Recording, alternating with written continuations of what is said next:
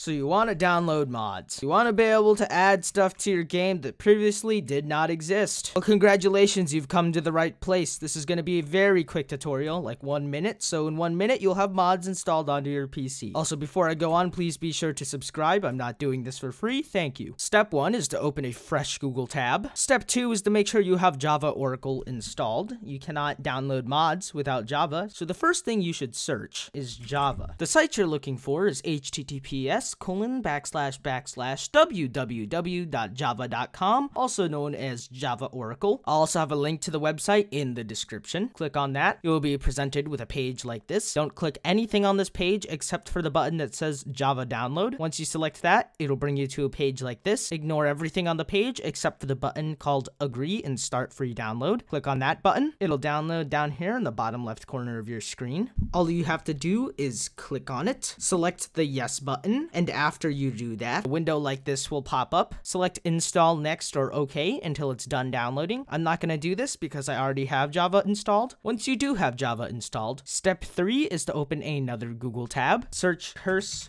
Forge. If you don't know what CurseForge is, it's a very popular website that people all around the world use for downloading mods. The one you're looking for is https colon backslash backslash www.curseforge.com, also known as Curse Forge. Click on that. You'll be presented with a page like this. Select Minecraft. Then you'll be presented with a page like this. Go up to the top and select mods. Then it will bring you to a page like this. There'll be a long column of different mods, followed along with 1,392 pages of mods for you to browse. If you don't want to browse mods, there's also a search option. Just for today, I'll get an example mod to use. Let's try a gun mod. Let's see what comes up. Tech Guns is a good gun mod. Once you find the mod that you want to download, click on it. You'll be presented with a page like this. Go up to the top and select Files. In Files, you have a list of different installation versions for your mod. Find the version of Minecraft that you want to run the mod on. If you cannot find your version of Minecraft, that means the mod you're trying to run is not supported for that version. I will be using 1.12.2. Once you find the version you want to download, click on the orange download arrow right here. You'll be presented with a page like this. Don't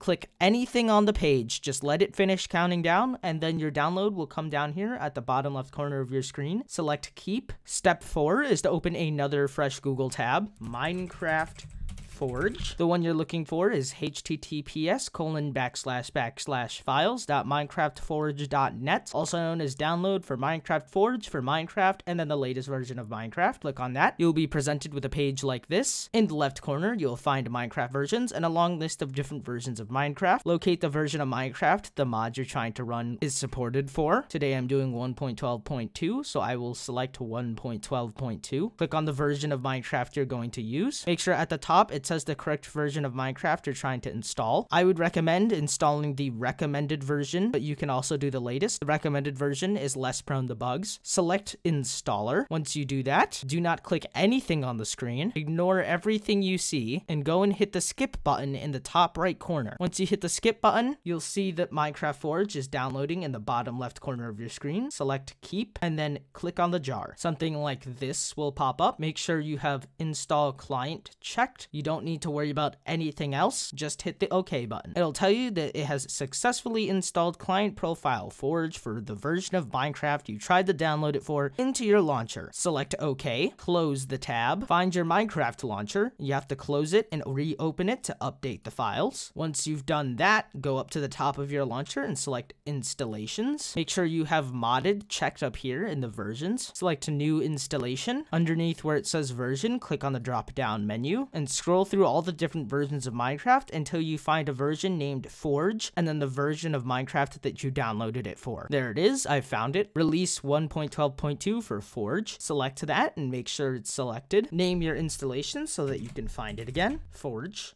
for 1.12.2. Go down to the bottom right hand corner and select create. Once you've done that, it'll bring you back to the installations tab. Scroll down through your installations tab until you find the installation you just created. And here we go. I found the installation I just created, Forge for 1.12.2, and you can see right below it, it says 1.12.2 Forge. Go over to the right and select play. I understand and play. Minecraft will begin to boot up, but you'll notice some differences, thus being all of the different loading bars. Once Once Minecraft Forge has loaded, go up to the top and close Minecraft. Now what you just did was generate all of the Forge files inside the .minecraft folder. The next thing you need to do is locate your downloads folder. To do this, open your File Explorer. You can open your File Explorer by either going down to the Windows button and selecting Documents, or clicking on the little file in your taskbar. Once in your File Explorer, go to the left and locate this PC. Select the drop-down menu and find Downloads. Click on that and you'll be presented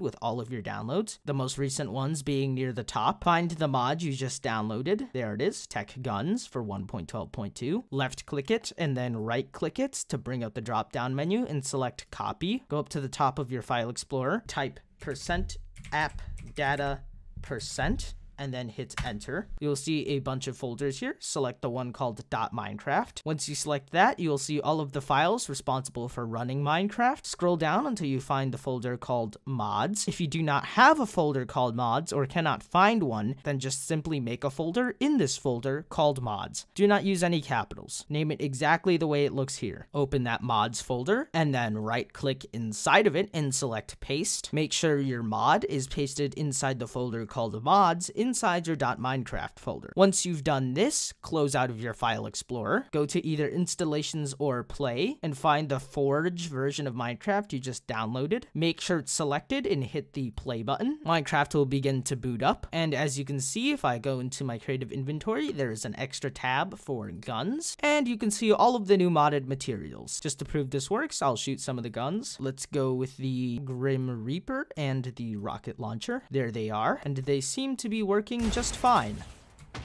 Let's try the Grim Reaper. And there you go, mods in Minecraft.